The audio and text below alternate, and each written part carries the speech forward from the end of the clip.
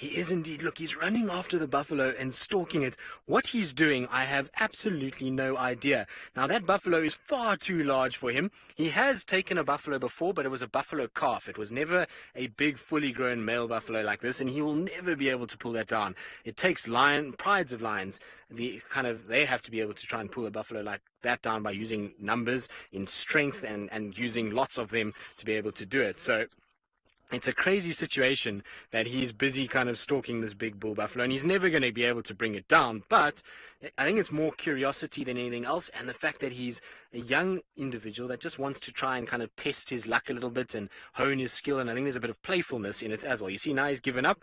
He's decided, nope, I'm not worried anymore and he's going to carry on. But he's really looking amazing. Now he's going to where the buffalo urinated. You see, he's smelling around there. So I wonder, and now he's going to roll in it. Now this is very interesting because leopards do do this from time to time. What they'll do is they find the dung of buffalo or the urine of buffalo and they'll roll in it. And the reason they do that is it just masks their scent a little bit and helps to conceal them and make sure that they don't get into a situation where they get smelt before they get seen or when they're hunting, they're able to stalk without getting smelt at all. But how cool is this?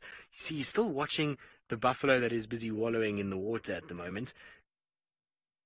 He's always a very busy cat. He's got a lot of energy. It's because he's still, like I say, a little bit younger. He's, you know, he's going to be Uh, he's only about two years old now, and so it's not very old at all. And he's got a long way to go to become a dominant male leopard, but he's certainly practicing skills that he's going to need as he gets older. And the fact that he's willing to try these things is quite interesting. So hope, yes, there are different kinds of buffalo. Here in South Africa, we only get the one type of buffalo, which is the African buffalo or Cape buffalo. And then you will get also what's called a water buffalo, which occurs in Asia. And there has been some that have been released in Australia as well. Now, I'm going to try and catch up with this leopard quickly because it's moving around quite a bit and we don't want a situation where we lose sight of it. So while I try and kind of catch up with it, let's send you back across to Brent and Tundi and the little cute cub.